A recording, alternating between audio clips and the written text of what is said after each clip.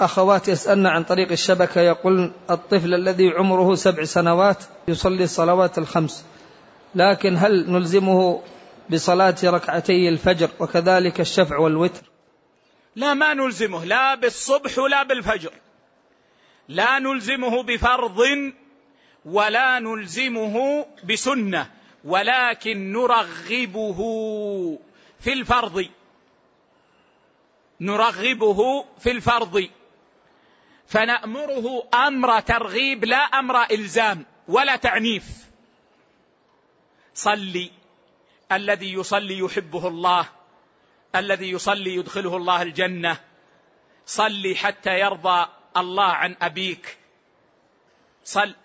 ولكن نحذر ما يفعله بعض الناس من التعليق تعليق القلب بالدنيا. فهذا عكس التربية الصحيحة.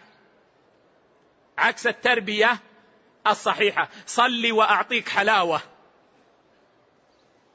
إذا صليت اليوم كل أعطيك ريالا. هذا يجعله يتعلق بالعبادة بقصد الدنيا. لكن لا بأس تقول له صلي.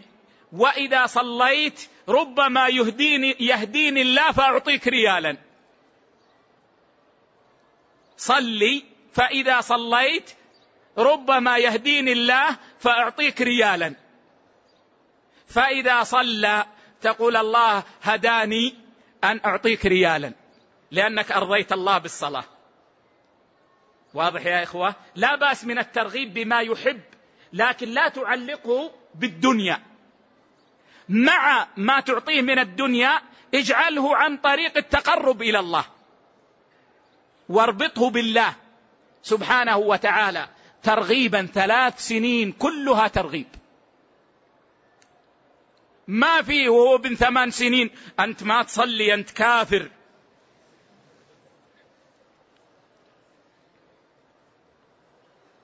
لكن لا بأس تقول له يا بني صلي. المسلمون كلهم يصلون. الذين لا يصلون ما يحبون الله.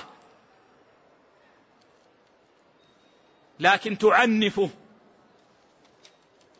تسبه تشتمه هذا ما هو مشروع. أمر أمر ترغيب. في الأول نرغب في الفرائض ثم نرغب في السنن. حتى ما نثقل عليه من أول الأمر يمل. ونرغب في الذهاب إلى المسجد. ونعلمه. والطفل يا إخوة يتعلم. يعني قبل أسبوعين أو ثلاثة يعني قبل فترة قريبة. كنت عند سيارتي فعطست ولوحدي فقلت الحمد لله. فجاء طفل من بعيد صغير أظنه دون يعني السبع سنين. جاء إلى أن جاء بجنبي. قال ليه ما تقول الحمد لله؟ لأن والده علمه أنه عند العطاس يقال الحمد لله. سمع عطاسي ولم يسمع أني قلت الحمد لله. جاء إلى والله سبحان الله دعوت له. جاء إلى أن جاء عندي. أنا ما رأيته وكان في جهة أخرى. جاء. ليش ما قلت الحمد لله؟ فالأطفال يا إخوة يتعلمون. نغرس فيهم نحن. إن غرسنا فيهم الكذب سيتعلمون الكذب. إن غرسنا فيهم الصدق والإحسان سيتعلمون الصدق والإحسان. لكن قلوبهم ما تقبل التجريح. لا تجرحها. قلب غض لا تجرح بكلمة. لا تجرحه بضرب. إلى أن يبلغ العشر. فإذا بلغ العشر وأنت غير مقصر أنت غير مقصر طوال هذه السنين الثلاث وأنت مجتهد. يا بني الصلاة ربي يحب من يصلي. يا بني الصلاة مجتهد. بلغ العشر وهو لما يصلي ابدأ اضربه ضربا غير مبرح وغير مهين. لكن تجلس نايم الثلاث سنين ما تأمره. من بلغ سبع سنين ما تأمره بالصلاة إلى أن بلغ العشر. لما بلغ العشر تجيب العصا أنت الذي تستاهل العصا. تركت الواجب عليك وهو أمره برفق.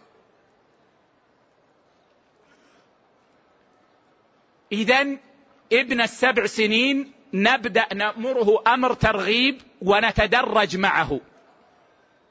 بما لا يمله بل بما يجعله يتعلق بالصلاة يحب الصلاة ونتدرج معه. ننقله إلى الرواتب المؤكدة. سنة الفجر والوتر. ننقله إلى السنن الرواتب. ننقله إلى قيام الليل. ويا حبذا لو كانت دعوتنا إلى السنن بالفعل. فهي أبلغ واحسن